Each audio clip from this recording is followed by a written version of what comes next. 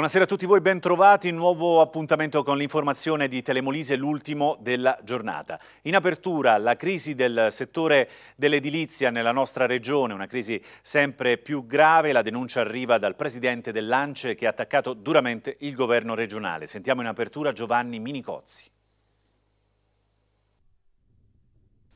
Una crisi, quella del settore dell'edilizia e dei lavori pubblici, che dura da qualche anno ma che si è accentuata negli ultimi mesi portando imprese e lavoratori al collasso pressoché totale.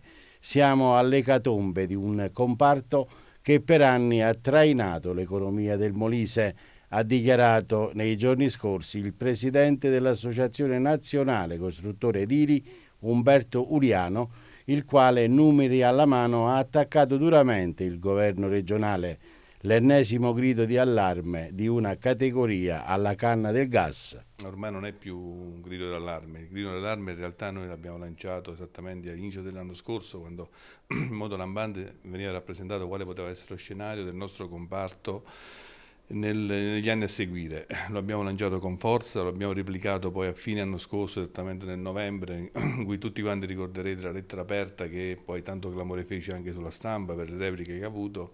E adesso registriamo solamente un dato, né più né meno, esattamente quello che noi immaginavamo potesse accadere è accaduto. 339 imprese hanno chiuso, un, solo nel primo semestre del 2015 registriamo un meno 25% di occupazione e un calo dei bandi sempre solo nel primo semestre 2015 del 64%, credo, 69%. Registriamo in realtà la, la fine di un settore che è stato sempre elemento trainante nella nostra regione. In termini occupazionali quanti posti di lavoro si sono persi?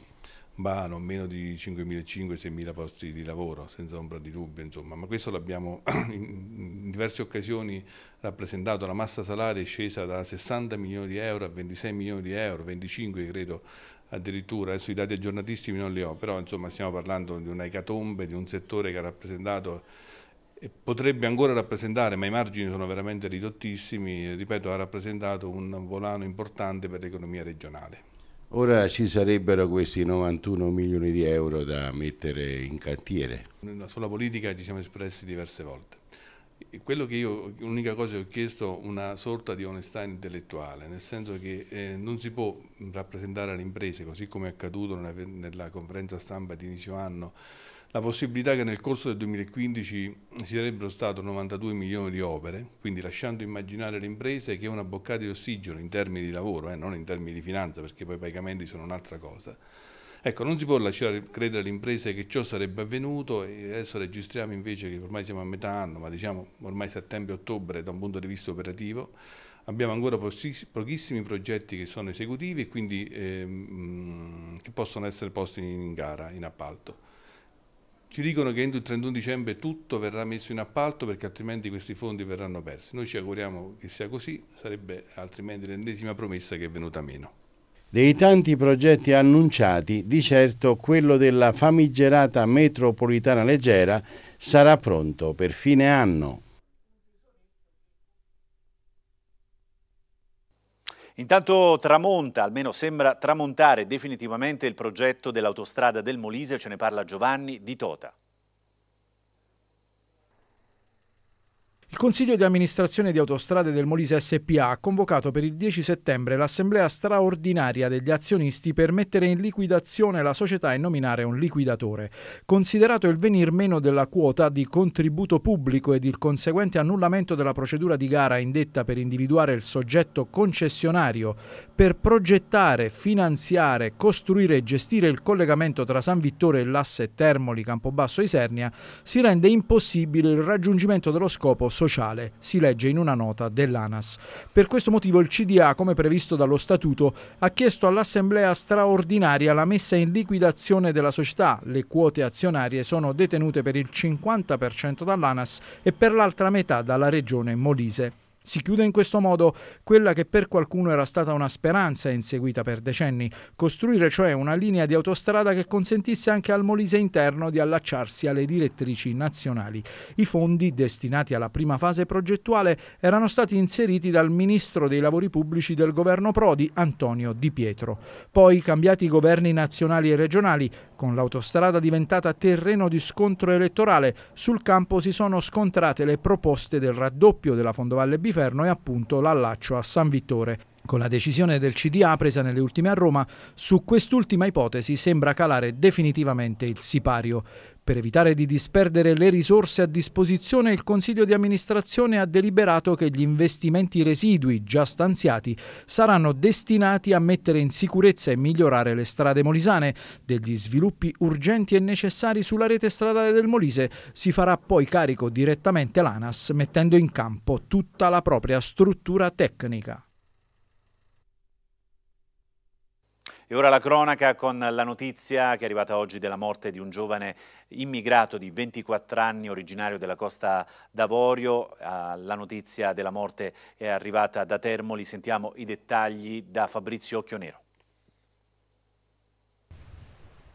Dal mare era arrivato in Italia dopo un lungo viaggio iniziato in Africa e fatto di fatica e di stenti, una nuova vita nel centro di accoglienza di Termoli, ma per lui il mare è stato anche fatale. Un bagno insieme agli amici vicino alla scogliera quando per cause da accertare Conso Berte, 21 anni, originario della Costa d'Avorio, è morto. Forse si è sentito male vicino agli scogli, ha bevuto e non è riuscito a tornare verso la spiaggia. I suoi amici, vedendolo andare giù, hanno dato l'allarme. Il bagnino del Lido Alcione lo ha soccorso e portato a riva per i primi interventi. Qui sono arrivati i sanitari del 118 e della Misericordia. A nulla però sono serviti tentativi per rianimare il giovane migrante anche con un defibrillatore. Tutto davanti ai turisti che affollavano la spiaggia e ai compagni che appena hanno appreso della morte del ragazzo sono accorsi dal centro di accoglienza che si trova proprio lungo la strada. Sul posto sono arrivati gli agenti del commissariato di Termoli e la capitaneria di Porto, accertamenti necessari per fare chiarezza sulle cause della morte di Conso che si era ambientato in città, giocava a calcetto e si era fatto conoscere come un bravo ragazzo. Sotto shock gli amici con i quali ha condiviso questa breve esperienza in Italia. Sono stati proprio loro a chiedere di poterlo portare in spalla dalla spiaggia fino alla strada. Prima della partenza ancora un momento di raccoglimento, una preghiera comunitaria davanti a quella che era diventata la sua nuova casa, il ricordo degli amici prima dell'ultimo saluto.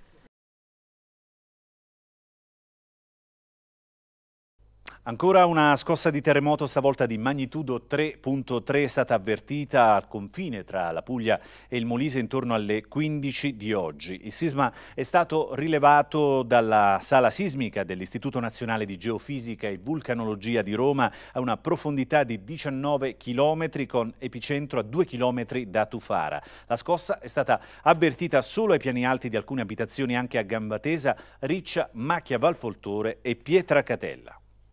E ora cambiamo argomento, parliamo dei problemi della sanità in Molise e facciamo il punto con Enzo Di Gaetano. Una smentita che è una conferma, si tratta della nota per la stampa emessa dalla Presidenza della Regione in cui a doppia voce Frattura il direttore generale dell'ASREM Pirazzoli invitano a non dare notizie infondate che possano allarmare la popolazione. Ebbene, qual era la notizia data da Telemolise? Eccola. Ieri abbiamo detto che il Cardarelli di Campobasso, l'unico che segue le epatiti a livello regionale, era sprovvisto dei farmaci salvavita Arvoni e Daclinza, necessari a curare le epatiti C con genotipo 1, 3 e 4.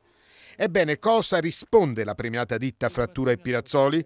Presto detto, affermano nero su bianco che la notizia non è vera perché l'Arvoni e il Daclinza verranno ordinati venerdì, cioè domani. Quindi, riavvolgendo il nastro, Frattura e Pirazzoli confermano chiaramente quanto da noi affermato, e cioè che i due farmaci salvavita non ci sono. Ma come in Corea del Nord, siccome il capo ha sempre ragione, dobbiamo dire che la notizia è falsa non perché i farmaci salvavita ci sono, ma è falsa perché saranno ordinati.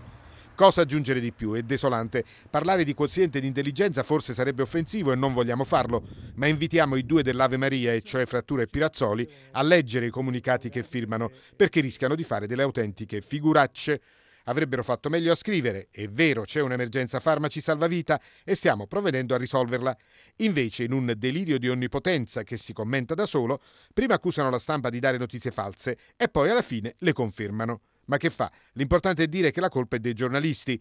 Attenti però, perché i giornalisti scavano e stanno acquisendo notizie anche su un'altra clamorosa indiscrezione. L'ottica sarebbe quella del risparmio, ma attenti che anche qui, come per i salvavita, si viola la legge. E in Piemonte un certo signor Guariniello, sostituto procuratore, ha già aperto un paio di inchieste.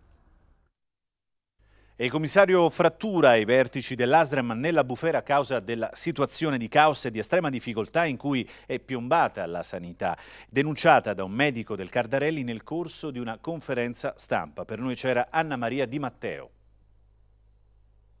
La sanità molisana è ormai al collasso, schiacciata dal peso di provvedimenti calati dall'alto e avvallati dal commissario Frattura che stanno chiudendo ospedali e reparti. Una situazione al limite denunciata con decisione da Angelo Di Stefano, medico del Cardarelli di Campobasso, che quotidianamente tocca con mano le conseguenze del piano di rientro dal disavanzo e dell'attuazione del decreto Balduzzi, un vero e proprio dramma che si ripercuote sugli operatori e sulla salute dei cittadini. Non siamo più in grado di garantire i LEA. Questa è una cosa gravissima. La cosa strana è che mentre un direttore che ha contatto giornalmente con, con la gente e con le emergenze eh, fa questa nota al direttore, al direttore, generale e in definitiva dopo il direttore generale doveva avvisare gli organi competenti, invece a questi signori della nostra salute gli interessa poco. Non garantire i LEA significa che non possiamo garantire niente. Vi faccio un esempio soltanto banale per tutti. L'oculistica ha un solo medico e dovrebbe garantire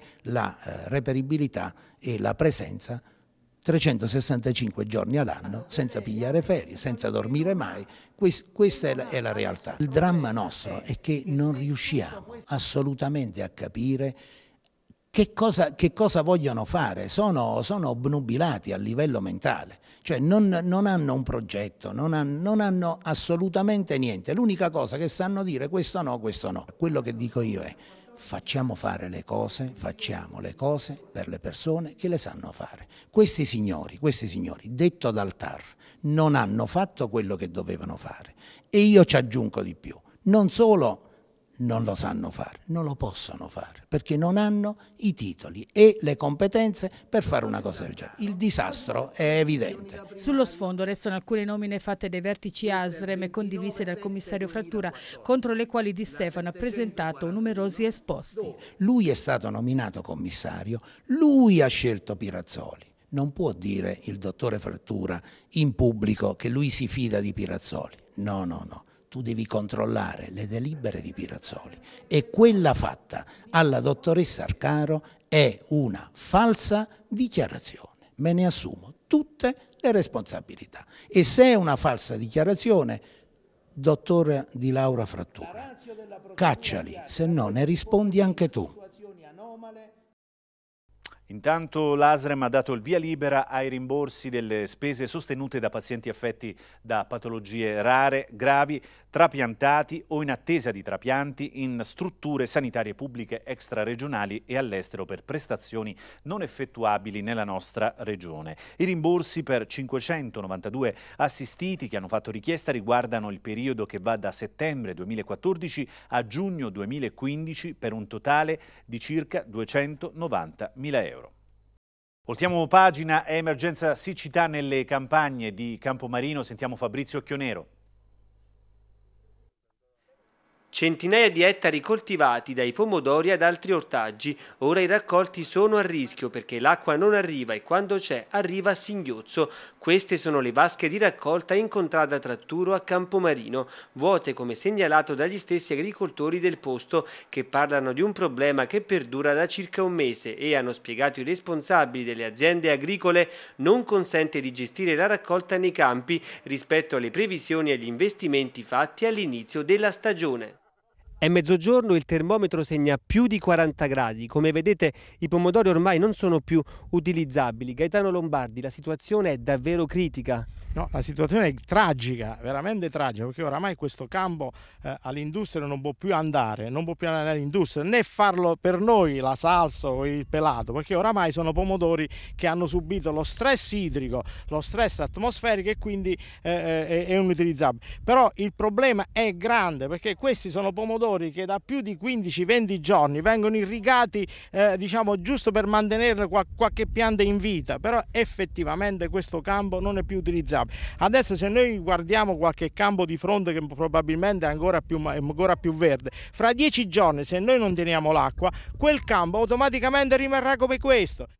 Gli agricoltori si sono ritrovati proprio nelle zone rimaste a secco per fare il punto della situazione l'acqua arriva a tratti, ma a tratti brevi. Se arrivasse a tratti diciamo di almeno due o tre ore che uno potrebbe dare un po', un po di respiro a queste piante qua, eh, già saremmo più soddisfatti. Le scuse che danno loro lì al consorzio di, di, di bonifica destro Signo e Basso Biferno, il presidente, eh, la temperatura, l'acqua è, l'acqua è poca, l'acqua non c'è, voi state sprecando l'acqua, non è vero niente. Noi l'acqua la utilizziamo, quindi quando noi paghiamo per i nostri ettari vogliamo utilizzare l'acqua su tutti i nostri nostri ettari che paghiamo. Non possiamo fare, fare pure noi eh, le, le, situazioni di un ettaro sì e un ettaro no, perché effettivamente mo ci sarà fra giorni, sarà un altro problema, dei trapianti orticoli. Qui noi già abbiamo prenotato le piantine eh, e che fra 10-15 giorni dobbiamo trapiantare e siamo senza acqua, vedete voi. Tanti disagi per i produttori. I campi già si vedono, sono distrutti proprio. È una cosa proprio, è una, una, una, vergogna, è una vergogna. Per noi produttori è un fallimento questo. Questo è un fallimento per noi quest'anno. Spazio ora alla politica. Possibile, si tratta del movimento politico fondato da Civati, dopo essere stato presentato a Campobasso, ora arriva anche a Isernia. Sentiamo Enzo Di Gaetano. Possibile, il movimento politico di Giuseppe Civati fa il suo esordio anche a Isernia. Promotori Alberto Gentile, Marilena Ferrante e Gianluca Baccaro, anime inquiete della sinistra isernina, rappresentanti di una mozione civile e sociale che non si riconosce nell'appiattimento attuale, dove Verdini fa compagnia a Renzi, Frattura sta con Patriciello e Brasiello vince le primarie del PD, ma confessa, io sono di centro. Insomma, il piattume generale è l'assimilazione di tutti i modelli e di tutti gli slogan, come quello della tassa sulla casa, prima di Berlusconi e oggi di Renzi, non sta bene a possibile di Civati, che fa il verso al partito spagnolo Podemos. Il logo è un tondo rosa con il segno dell'uguale al centro, un po' di mix arancione e viola che ricorda le battaglie dei movimenti degli ultimi anni, un po' come il rosso di una sinistra a sinistra, ma ancora una volta un'altra cosa.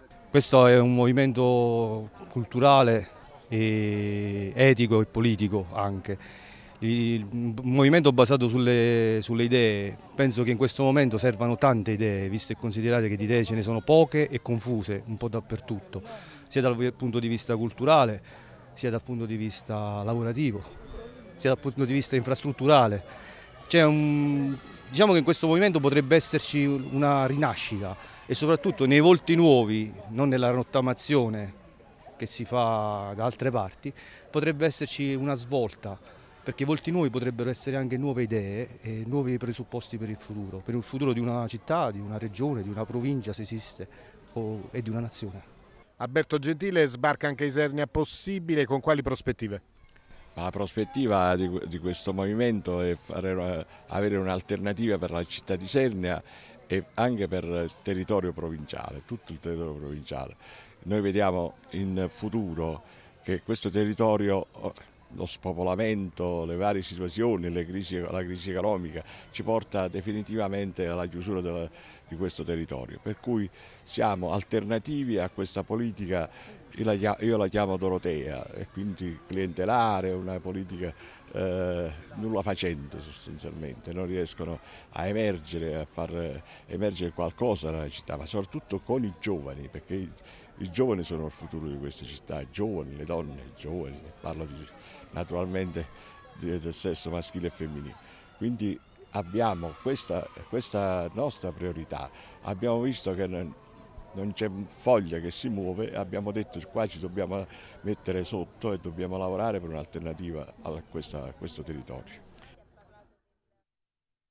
Sciopero domani dalle 17.30 alle 21.30 dei dipendenti della società di trasporto Sati. La protesta è stata indetta dalla CISL e dalla WIL contro l'azienda che denunciano i sindacati ha assunto un atteggiamento di chiusura rispetto alla richiesta di confronto più volte sollecitata dalle parti sociali. Siamo in tema di lavoro, i lavoratori dell'impresa che si occupa della pulizia degli uffici della Regione hanno manifestato davanti alla sede della Giunta regionale. Vediamo servizio di Anna Maria Di Matteo. Ancora un presidio davanti alla sede della giunta regionale, ancora lavoratori e sindacalisti a protestare contro un diritto che viene negato, quello di essere pagati per un lavoro svolto regolarmente. È toccato ai dipendenti dell'impresa che si occupa delle pulizie degli uffici regionali andare a manifestare davanti ai cancelli di Palazzo Vitale perché da mesi sono senza stipendi, stanchi, esasperati e in gravi difficoltà economiche. Un'altra avvertenza che va ad inserirsi in una lista drammaticamente sempre più lunga lunga. Eh, L'azienda Avanza praticamente ci ha comunicato in, non solo in una lettera ma anche in prefettura che non viene pagata la Regione Molise da dicembre 2013. Che la Regione non si interessa di nulla rispetto ai lavoratori molisani, perché la Regione Molise non pensa davvero alla vertenza lavoro perché la regione Molise, i politici molisani e i dirigenti molisani non sappiamo a che cosa pensano. L'ennesima vertenza aperta ma con una particolarità, dove stanno i soldi stanziati per le aziende che lavorano per conto della regione Molise? Uno stipendio solo di un consigliere regionale potrebbe sanare il problema di tutti questi lavoratori. I consiglieri nostri regionali lo stipendio lo continuano a percepire, continuano a percepire il gettone di presenza da 250 euro quando si riuniscono per un'ora in consiglio regionale, è vergognoso, la politica morisana ha perso il controllo ormai della regione, è un fatto vergognoso. Ora invece ci occupiamo di ecologia e del progetto di una società che prevede di installare nei comuni del Molise un ecocompattatore. Ne ha adottato uno il comune di Vinchiaturo, ci dice di più in questo servizio Giuseppe Carriera. È il primo ad essere installato, ma il programma della GECO è di dotarne uno in ogni comune della regione. Si tratta di un ecocompattatore, un meccanismo che consente di raccogliere e differenziare rifiuti in plastica e alluminio, in particolare bottigliette e lattine un ecopoint più facile da individuare e usare rispetto alla classica raccolta differenziata che peraltro incentiva chiunque a inserire rifiuti negli appositi contenitori. Questa è una delle tante iniziative che l'amministrazione comunale ha voluto mettere in atto per sensibilizzare la, la, la cittadinanza sul, sul tema dell'ambiente, sul tema della raccolta differenziata dei rifiuti e sulla riutilizzazione delle materie quali plastica e, e alluminio in questo caso. Eh, sicuramente è un vantaggio economico per il comune, è un piccolo aiuto economico anche per le famiglie perché c'è questa incentivazione eh, all'acquisto, questa scontistica, ma soprattutto, ha soprattutto una valenza culturale molto importante. Il meccanismo, oltre al riciclo di alluminio e plastica, restituisce un incentivo a chiunque lo usi. In pratica, inserendo una lattina o una bottiglietta nel box, la macchina restituisce uno scontrino, un vero e proprio coupon, con un ecopunto che, grazie alla sinergia con le attività commerciali di Vinchiaturo che hanno aderito, concede al possessore uno sconto su ciò che acquista. Un'idea che invoglia chiunque a usare l'ecocompattatore e a spendere poi con gli sconti nei locali e nei negozi della propria città. A settembre partiremo anche con il progetto nelle scuole, porteremo nelle classi progetti di sensibilizzazione sulle, sulle, tematiche ambientali ed anche sul corretto funzionamento del macchinario. Questo è il primo e il progetto pilota di una lunga serie di installazioni che faremo in tutto quanto il Molise.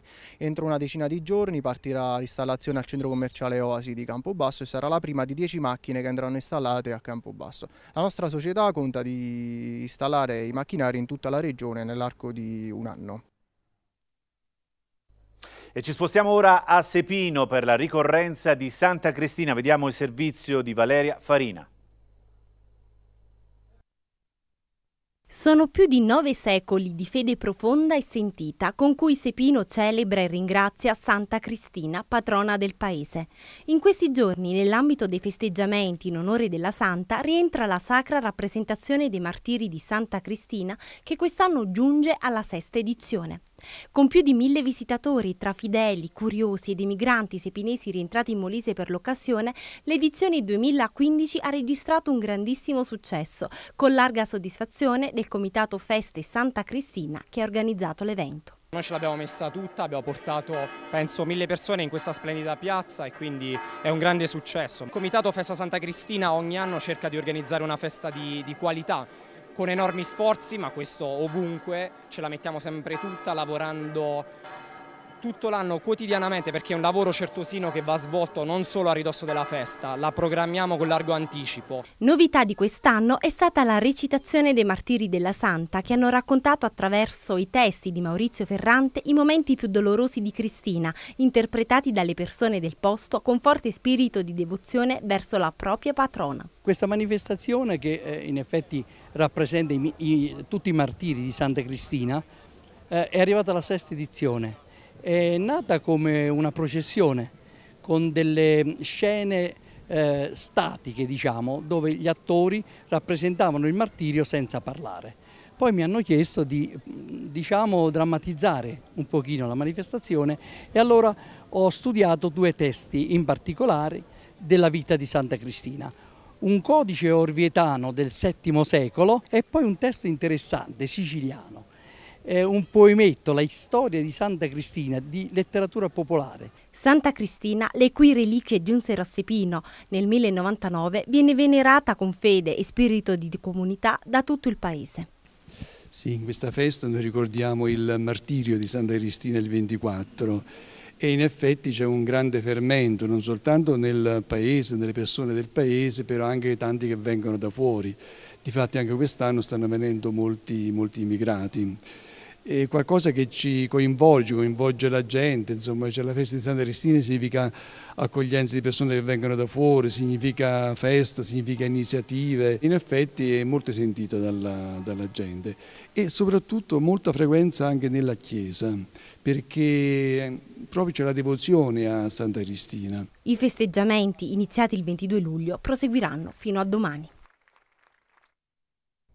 E nell'ambito degli eventi organizzati in onore di Sant'Anna Ielsi c'è il premio La Traglia Etnie e Comunità che quest'anno ha premiato il patriarca di Baghdad, Monsignor Luis Sacco. Il riconoscimento è andato al patriarca per l'altissima capacità di dialogo interreligioso tra i diversi credi presenti in Iraq e quello cristiano. Il premio inoltre è stato motivo di riflessione sui recenti attentati alle chiese cristiane in Libia, in Siria e in Egitto.